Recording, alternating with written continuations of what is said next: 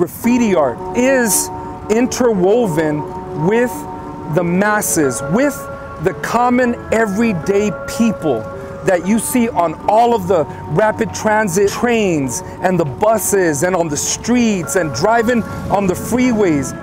The heartbeat of the people in its purest form is one of the most important forms of expression in this day and age.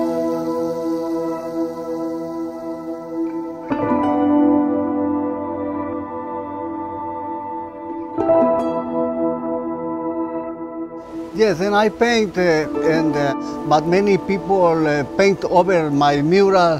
The mural in LA is a message from the artist for, for all around the world. When I talk about my father's art, it flat out makes me want to cry. It breaks me down. The guy rode brushes here like a magic carpet. You gotta realize that the man walked here with nothing but a backpack full of brushes from El Salvador.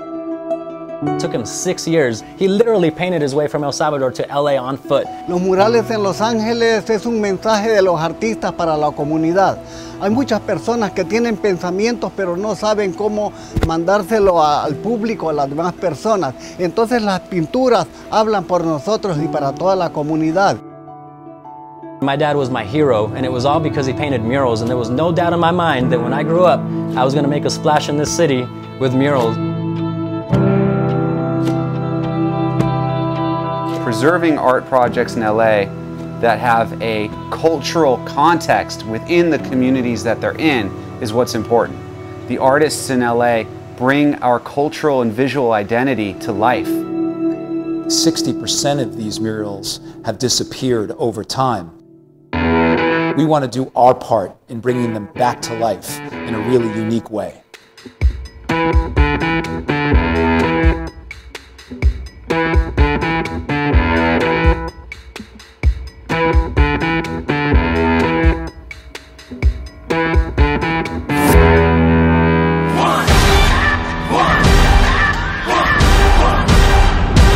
Pollo Loco is going beyond the digital preservation of these murals by offering up our restaurant storefronts as being the new canvases for these murals. We want to not just bring them back digitally, we want to bring them back to life permanently. Street art is a raw, direct way to get a message to the people at pedestrian level. Everybody sees it. Latino murals here in LA are an anchor to Latino culture in America. It's a way for us to represent ourselves. If we're not going to see ourselves on the screens, we'll see each other on the walls, right? It's the art of our people. It's the voice of our children and our elders. This is my voice. They've taken it as the art of the people. El arte de la gente.